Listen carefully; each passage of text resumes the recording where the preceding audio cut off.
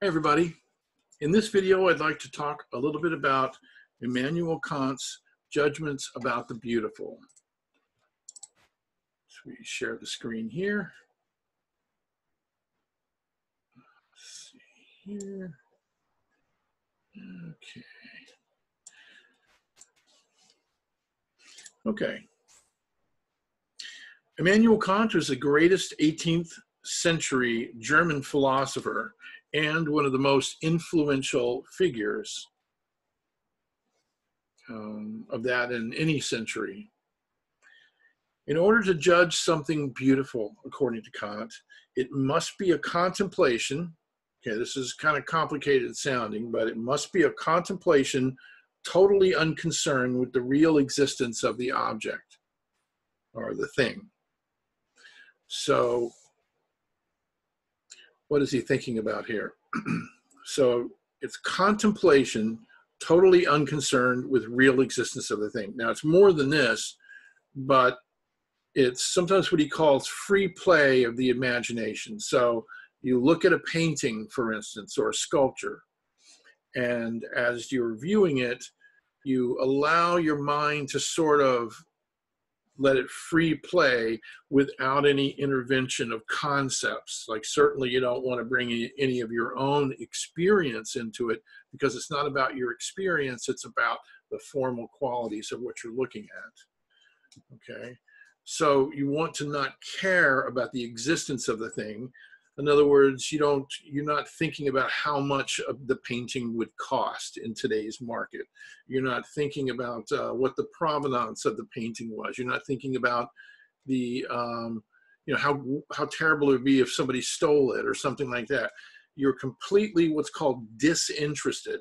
Now, disinterest is different than, than not being interested. Disinterest is without any particular interest in the thing. In other words, it's not in your interest to think that it's beautiful or not or whatever. It's just all has to do with the qualities of the picture, the formal qualities of the picture, and allowing it to sort of play back and forth in your in your in your mind, just as far as its sensuous or the, the sense the sensing uh, organs.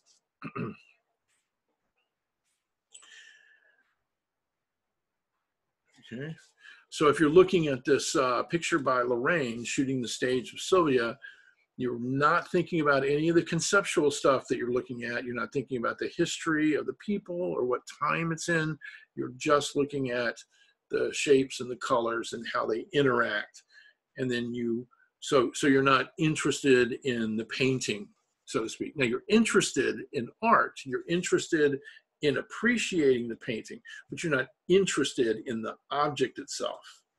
So I, I hope I hope that helps. It's uh, it's a little it's a little odd of a view. We don't talk about it like this a lot, but um, Kant was a very uh, unique individual, and he had sort of his own language for the for some of these things.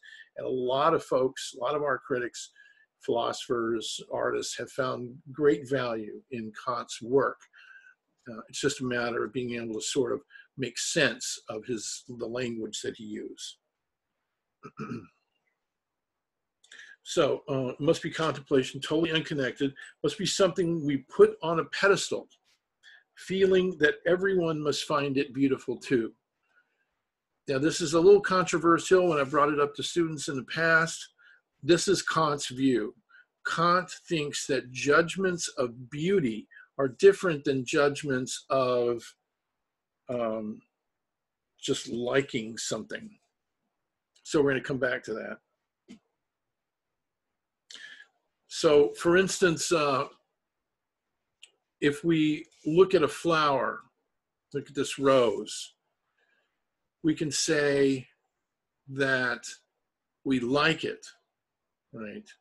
Um, Kant thinks we can say it is agreeable to me, right? That we like it.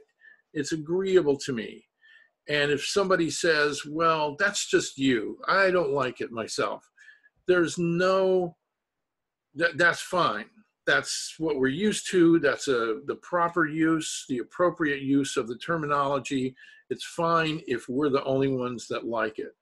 But consider an artwork like here, the Guggenheim Museum in Spain.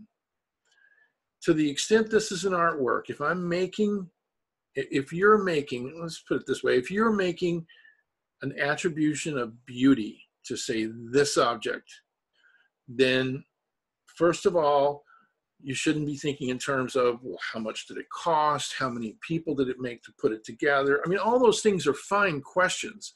It's just insofar as it's a work of art, formalists believe that none of that other stuff matters. The only thing that matters is the forms and the colors and how they interact.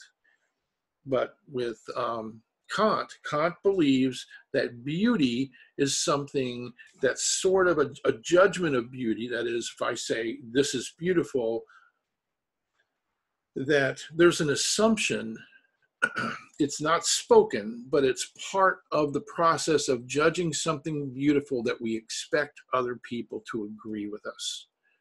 Okay. Um, sometimes the way I try to describe this is uh, is the previous one, the rose, um, is um, it's agreeable. So one is able to agree or disagree, but if if I'm making a judgment of beauty here, we say it's beautiful, as in it's full of beauty. So the rose is more about us. The beauty of a work of art is more about uh, what the object itself has. You can kind of think of it that way, so that the expectation is is that people will agree with us. You know, maybe it's a little bit like you think of ethics. Uh, if we say um, you know, um, yeah, I don't know, somebody hits somebody else for no reason, and we say, wow, that was wrong. And if somebody else says, huh, well, that's just you, I don't agree. We would kind of think, wow, really? You don't agree with that? Because uh, for a lot of folks, um, just kind of Kant's making a, a social, it's kind of a partly a social commentary here. Um, of course, we all want to let people make their own decisions and be tolerant of different views and all that. But this is about the, tech, the technical aspect of making a judgment of beauty.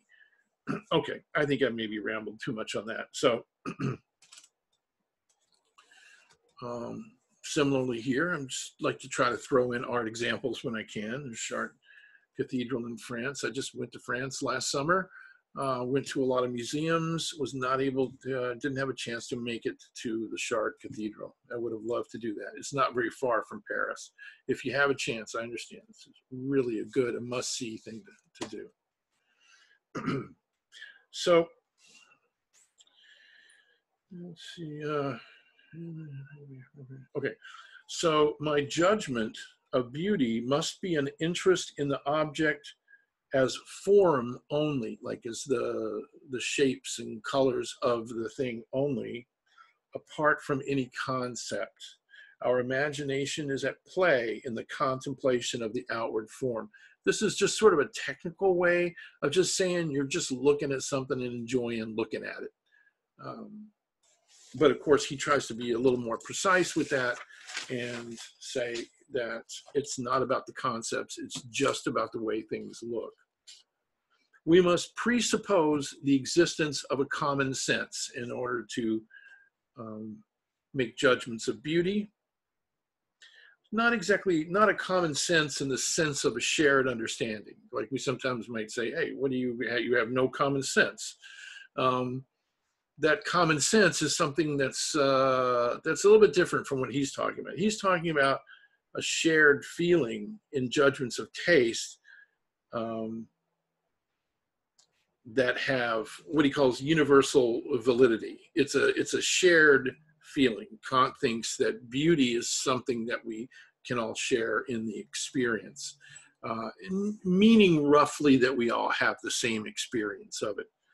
Now that's that's rough. It's not obviously we don't all have the exact same experience of it, but um, he means in terms of our shared sense, our shared feelings uh, when it comes to the beauty of a human-made object, an artwork, this uh, this has, according to Kant, universal validity. So whenever we make a judgment about beauty, Okay. every art, and it's the last point here, is that he thinks every art presupposes rules, but unlike other arts, the rules cannot be shared with others, cannot have a concept, as in like science. So you can take somebody through a science experiment. You know, teachers of science can lead someone in the laboratory to do certain things, and um, there's a there's methodology to it. Kant thinks there's no methodology in art, that uh, a real work of art is made by someone who doesn't even know the rules themselves and certainly can't teach it to others, but just has a kind of maybe innate ability, is a way to think about it. Just they're born with the ability to do this.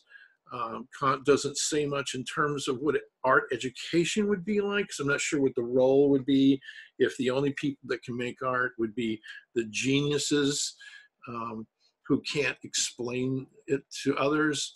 But this is his view, and it's been an influential view. And I think it's interesting. It's worth talking about, worth worth discussing, certainly. So, genius is the innate mental, in other words, talent or aptitude through which nature, what he says is nature gives the rule to art. So in other words, you think of it in kind of fanciful terms that nature is this this big encompassing thing nature sort of works through humans by um, you know nature wants to to give the rules to make art but it can't give actual rules. And so it creates geniuses. Okay? So genius uh, is originality. Genius must be exemplary, must be a standard for others. So other pe- so the way you would learn art, I guess this would be the answer to the art education question, would be we would learn art by um, by observing others, uh, the artwork of other geniuses, and then we try to kind of copy that in some way not like copy the actual work of art but sort of try to try to get whatever that uh, indescribable uh, sense is so that nature is working through humans. We're not talking about a religious aspect here of like god working through humans. We're talking about Kant thought it was nature working through humans to make art to create a standard for others to follow. Okay? Um, also, genius isn't aware of how she does it, right? Um, and it's prescribed by nature to fine arts, not to science. So science is, uh, we can get rules in science, as I said, but not in art. And so that's all I have right now on this article. If you have any questions, let me know. I'm sure you've never seen this before. In case you haven't, this is a cat sitting funny. And I hope you enjoy it. And I hope uh, you have a nice day. Thank you for your time and attention. Bye bye.